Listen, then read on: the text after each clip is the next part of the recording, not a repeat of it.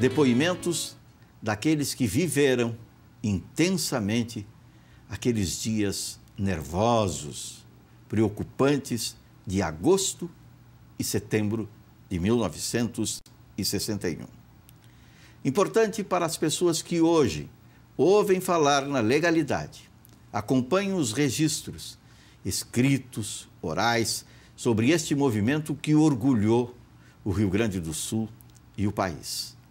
Mas desconhece depoimentos pessoais daqueles que estiveram intensamente envolvidos com os fatos daquela época.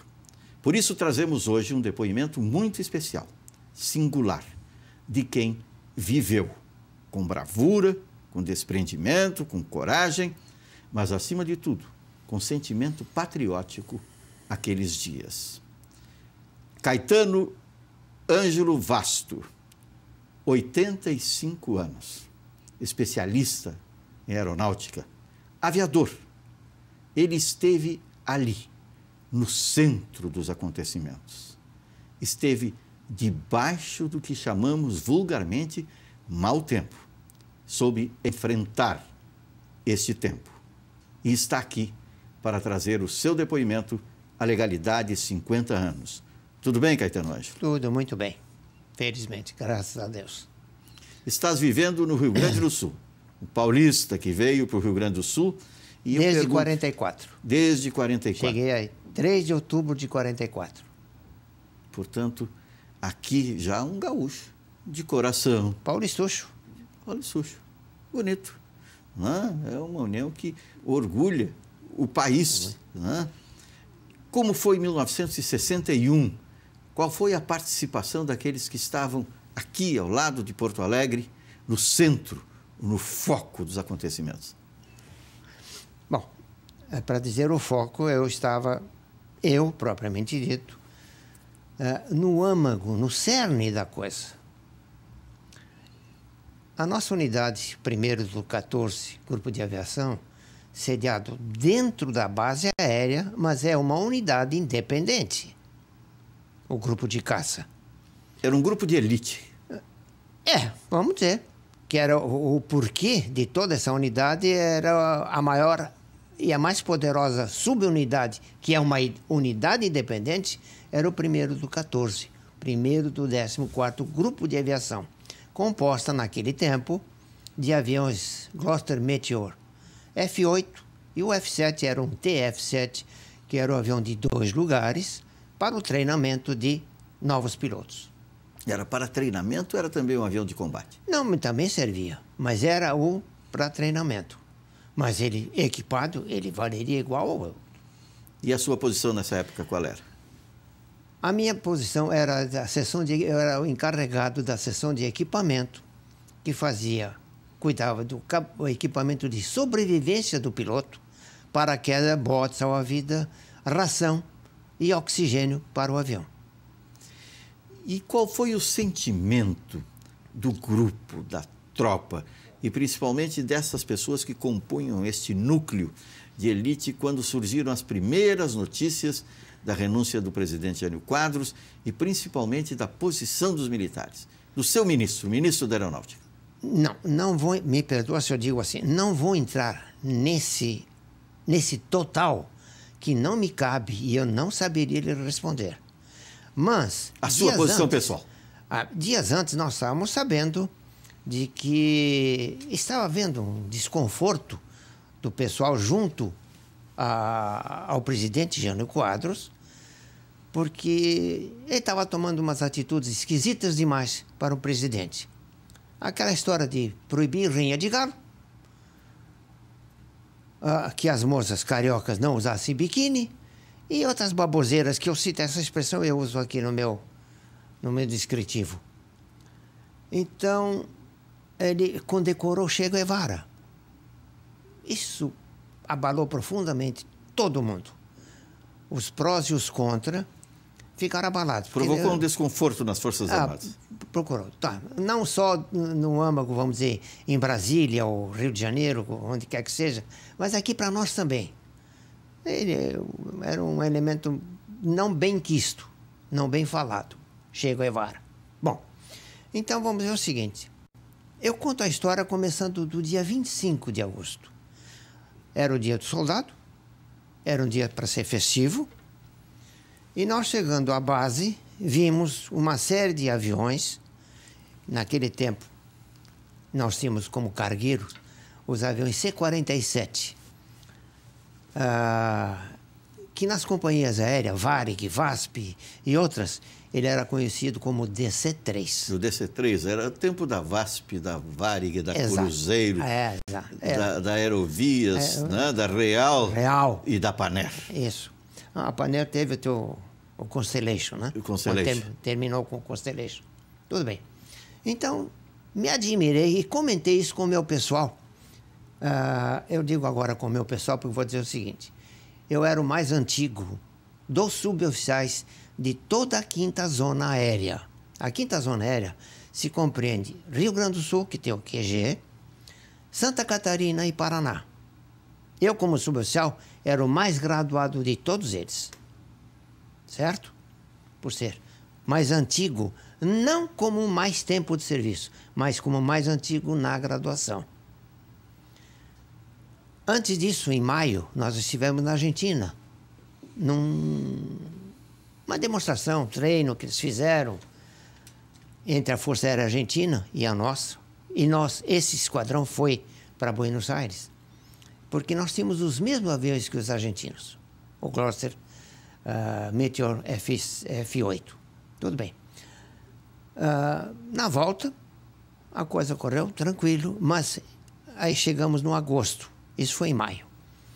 Em agosto vem aquela história: chego na base, encontro aqueles quatro ou cinco aviões sendo carregados com família de oficiais, cachorro engradado de Estavam galinha. sendo retirados da base aérea. Tem uma vila dos oficiais Sim. junto ao QG. Exatamente. E vi que então, aquele pessoal todo estava sendo embarcado. Aquilo me causou admiração. Isso no dia 25. Chegamos à nossa unidade, tudo bem, se trabalha normalmente mas eh, o clima estava meio tenso. Após o almoço, então, ficamos sabendo que toda a unidade, ou todas as unidades do quinto Quinto comando. Quinto comando. Não, naquele tempo era quinta zona quinta aérea. Quinta zona aérea. Hoje Aquela é época, hoje é quinto comando. Hoje é quinto comando. Estavam em sobrevivência, regime de uh, pera, sobreaviso. Tudo bem, então ninguém sai. A base está fechada. E ficamos vivendo o dia seguinte e sabendo das notícias de ameaça do Jânio Quadros. Ele iria renunciar. E de fato renunciou. Feito isso, então quem é que assume o governo? O vice-presidente, Jean Goulart. Muito bem. Ficamos sabendo então que o grande comando em Brasília, Rio e tudo mais, não queriam que Jango assumisse a presidência. Bom, isso se passaram dois, três dias.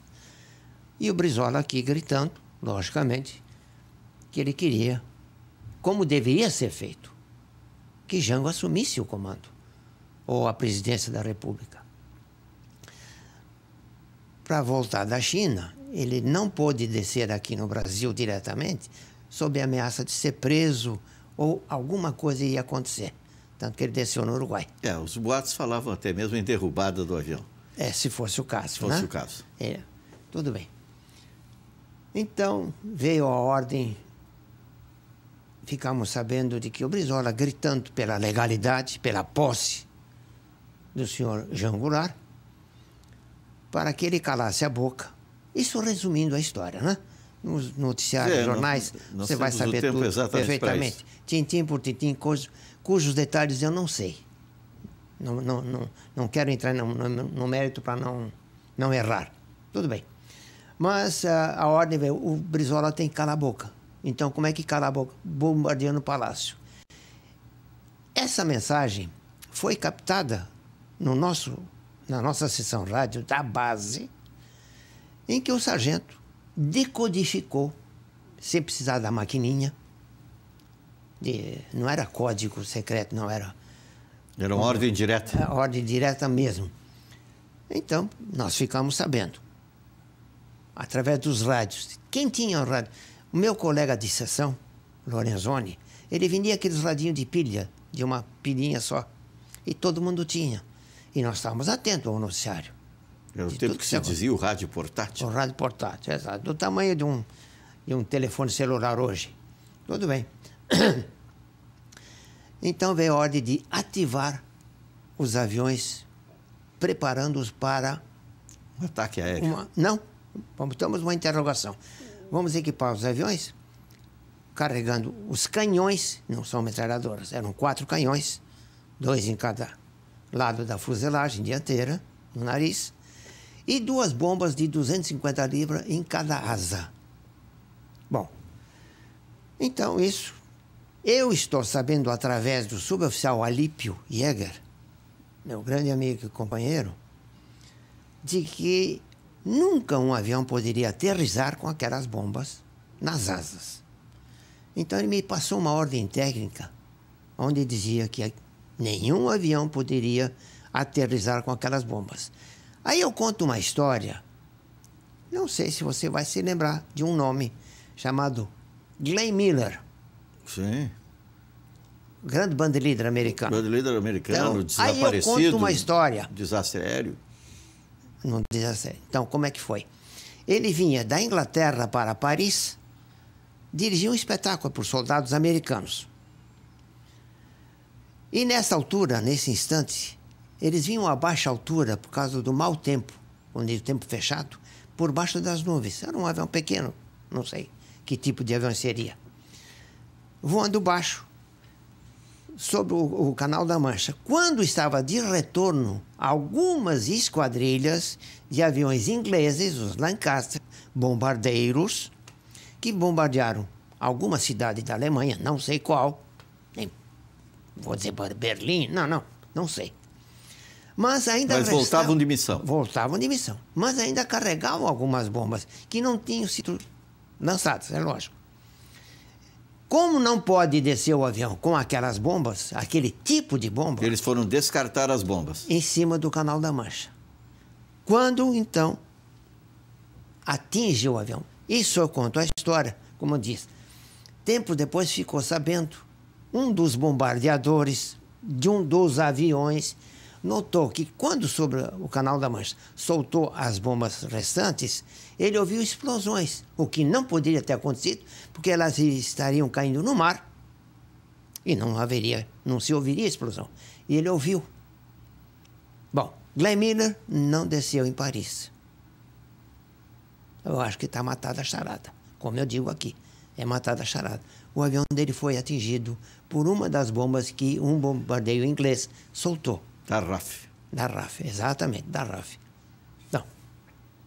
Nós tínhamos aqui as mesmas bombas. Então, nenhum avião pode descer com aquela bomba. Ou no Bombay, que era dentro do próprio avião, ou nas asas, que chamam de cabide que segura as bombas. Elas ficam suspensas embaixo Ficam da suspensos. À vista, sob as asas. Então, o Alípio Jäger me diz, Vasto, se o comandante quiser saber alguma coisa, por que, que esses aviões não podem ser, aqui está a ordem técnica, que proíbe os aviões de descerem carregando essas bombas. Bom, então eu tenho argumento para conversar com o comandante. Bom, mas antes disso, por ordem do comandante, chega um oficial para mim e diz: Subvasto, com uma prancheta na mão, diz: aponte o nome do, do pessoal que vai para São Paulo receber os nossos aviões. Falei: por quê? Nossos, nossos aviões vão para São Paulo. Bom, mas carregados daquele jeito, o que, que iam fazer com aquelas bombas? Já se sabia. Iam soltar as bombas antes de Ah, chegar em São Paulo. Soltar bomba, não soltar no mar. Se a ordem que nós já estamos sabendo que existe era de bombardear o palácio, essa prancheta veio com o meu nome em primeiro lugar, não por ser o mais antigo e por ser da seção de equipamento, mas por saberem que qualquer missão para São Paulo, eu ia, ou eu me escalava, tá? E dava para os outros suboficiais da pista, do hangar, ou de onde quer que seja, que colocasse o nome. E como por ser paulista, eu ia só para São Paulo, quando tinha missões no norte, eu não queria, não ia. Então mandava o meu assistente, meu secretário, meu ajudante, era o Lorenzoni. E essa relação veio com o meu nome. Eu chamei o pessoal todo, conversamos e expus o caso. O negócio é o seguinte: estamos sabendo, o Palácio do Brizola vai ser bombardeado. E nós não vamos deixar. Eu não vou para São Paulo e nem vou deixar os aviões decolarem. Eu tive apoio de 100% dos sargentos e os outros suboficiais também. E isso é muito importante que seja contado agora, porque as pessoas sabiam da posição dos sargentos em defesa da legalidade. A posição unânime dos sargentos, recusando-se a Exato. pilotar os aviões Exato. que iriam decolar ali da base aérea de Canoas. Mas aí está o meandro da história. Aqui está no seu depoimento por que isso aconteceu e como a pessoa credenciada, conhecedora tecnicamente da situação, pôde evitar que isso acontecesse. E qual foi depois dessa sua atitude a represália? Houve ou não? Vamos ver. Esse tenente que me trouxe a prancheta voltou para o comando, expôs a situação, o que eu disse, e de imediato tocou a sirene e o alto-falante, e o comandante pediu uma nova reunião dos sargentos no hangar. E alguns poucos minutos ele desceu, eu reuni o pessoal, botei todo mundo em forma e fiquei esperando por ele, com a tal da ordem técnica na mão. Ele veio logo dizendo: Que negócio é esse de ninguém ir para São Paulo e nem os aviões vão decolar? Aí eu expliquei: Comandante, o senhor está sabendo que do jeito que estão os aviões carregados com essas bombas, não falando nos canhões, mas com essas bombas, eles vão bombardear alguma coisa, algum lugar. E pelo que estamos sabendo, é o palácio do governador Brizola. E nós não vamos permitir isso, de jeito nenhum. Então ele aos gritos vende isso é insubordinação. Eu vou botar vocês todos para o conselho de guerra. Não tem importância. Os aviões não decolam e ninguém vai para São Paulo. Nessa altura, veio um dos oficiais, veio com uma metralhadora pequena uma Thompson 45, e me botou uma metralhadora na cara. E disse para o comandante: Subcomandante, vamos chumbar o dente do sub? Aquela fração de segundo, aquilo foi um século. Você imagina? Todos, desobedecer. Todos imaginam que tempo foi isso. O, o, a, aquelas frações de segundo. Você não imagina o que, que, que tensão estaria? Quer dizer, o comandante, todo mundo armado, menos os sargentos e os suboficiais. Nós estávamos desarmados. Os oficiais todos armados. Que no entendimento do comando estavam se rebelando. Nós estávamos. Eu afrontei o comando. A determinação. Afrontei. Não. Os aviões. Não, ninguém vai e nem os aviões decolam. Foi isso. Quando o Tenente Pinto, com a metralhadora, diz: vamos chumbar dentro do SUP. Sup sou eu, porque eu estava no comando da tropa. Nisso, abrem-se os portões e o pessoal da infantaria de guarda, todo o resto da base, ou uma boa porção, entra gritando no hangar, fazendo barulho. Então, os oficiais se espantam e correm para cima. Vão lá para a sala dos oficiais. E aí nós nos sentimos liberados, porque nós estávamos presos dentro do hangar, sem poder fazer nada e, como volto a dizer, totalmente desarmado. E os oficiais todos armados. E esta ação destes que entraram foi coordenada ou foi espontânea vendo a situação que se Eu desenvolvia ali agora? Essa coordenação foi com o pessoal da IG, a Infantaria de Guarda, sabendo da nossa situação. Já conheciam? Sim, já. Não, nós nos comunicávamos como podíamos. Nós e todos os demais, os demais uh, uh, seções da base, esquadrilhas, ou esquadrões no caso. Então, eles sabendo que ouviram a sirene, ouviram o microfone no alto-falante, e sabendo que nós estávamos desarmados, alguma coisa ia acontecer. Aí é que eu digo, aquela situação de eu dizer que nem os aviões decolam, nem, nem ninguém vai, que atitude o comandante poderia tomar? Dar um tiro para o ar, dar uma rajada de metralhadora para o ar, atingir alguém, a mim? Ou algum de nós? Não, algum de nós não. O principal sou eu. Ia haver uma coisa feia. Ia. Ia acontecer uma coisa feia. O comando é que acabou ficando isolado. O comando ficou isolado. Ao lado do. aceitando a determinação do comando, alguns cabos e soldados que, temendo o futuro, ficaram ao lado dos oficiais. Não vou dizer que todo mundo ficou. Não, teve, teve alguns. Tá? Mas. Mas uma minoria. A minoria. Eram cabos e soldados. Então é isso aí. Então, nos sentimos liberados.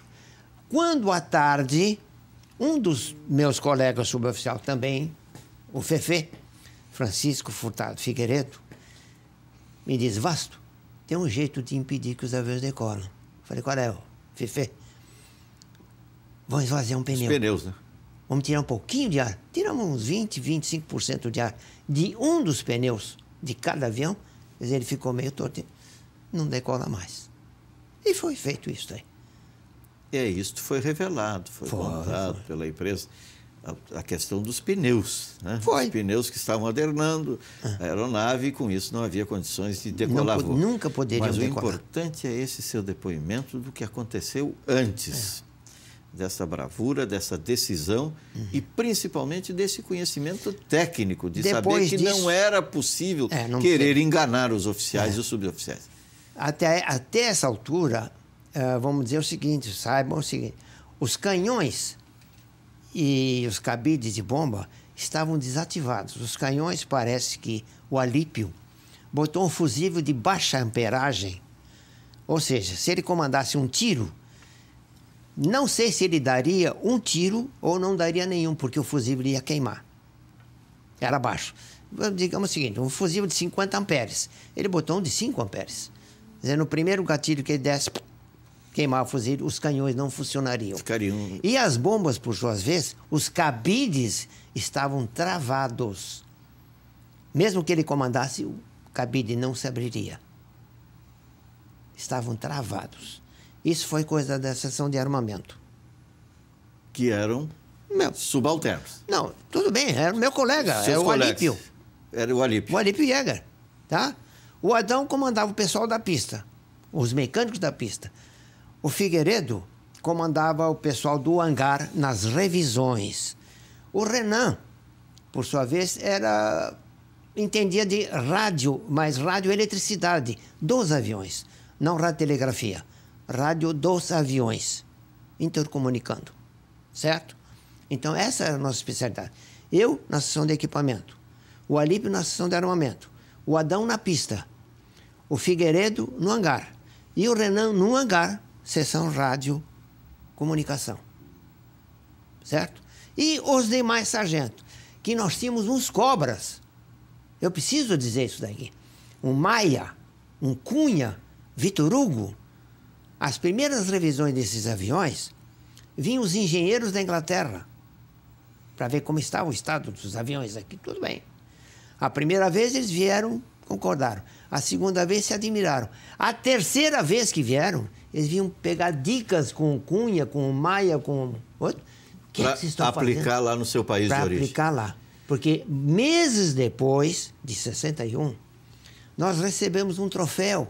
O Esquadrão de Caça recebeu, porque tirou primeiro lugar em disponibilidade naquele ano de todas as unidades no mundo que tivessem o mesmo tipo de avião mesmo aquela unidade a 100 quilômetros perto da fábrica de aviões, não foi, não teve tanta disponibilidade quanto nós tivemos. Parabéns por isso tudo, pela história bonita Obrigado. que o senhor conta aos telespectadores em Legalidade 50 anos, porque foi de gente como Caetano Ângelo Vasto, seus colegas, que nós todos temos hoje a obrigação de transmitir essas informações a todos os rio-grandenses e brasileiros. E, acima de tudo, felicitá-los pelo espírito público, pela bravura, pela coragem e, acima de tudo, pela determinação de honrar o seu trabalho, a sua labuta, honrar, acima de tudo, a profissão que escolheu, que é exatamente aquela de servir aos seus iguais durante todo o tempo. A minha pátria é Brasil.